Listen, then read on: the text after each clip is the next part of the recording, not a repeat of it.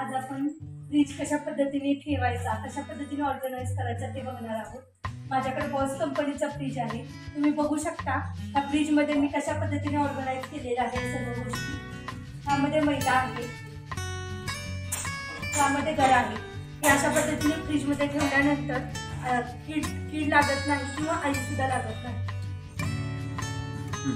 त्यामध्ये थोडीशी मळलेली कणिक आहे. जादा मळून कणिक फ्रीजमध्ये ठेवू नये. चांगलं नसतं ते. थोडं तयार करून ठेवलं आहे. इमर्जन्सीला आमटी करण्यासाठी कामाला येतं. हे अन्न ठेवलेलं आहे. हे आलं असं ठेवल्यामुळे जादा दिवस टिकण्यास मदत होते. त्यात कोथिंबीर आहे. निवडून कोथिंबीर अशी डब्यात पॅक करून ठेवायची. त्यामध्ये वटाणा सोलून ठेवलेला आहे.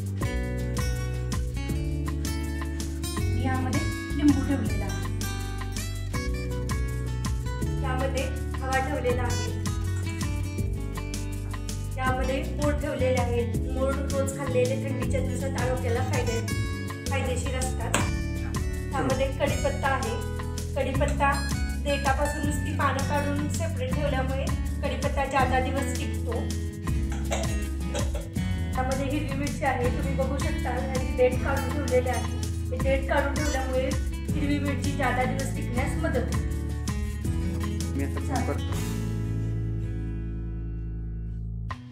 ग्रीन पीज आहे. गेल्या वर्षीचा आहे हा. तरी सुद्धा टाईट डब्यामध्ये पॅक करून ठेवल्यामुळे अतिशय छान वर्षभर टिकू शकतो.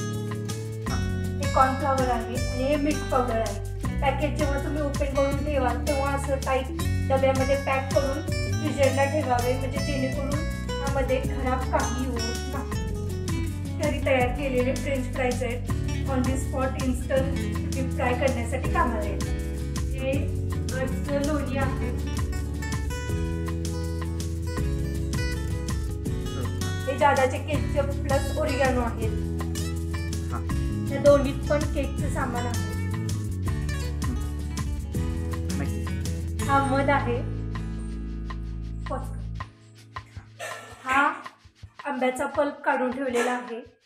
साखर घालून आटून ठेवलेला आहे. याची पुरी खीर बासुंदी रबडी छान होती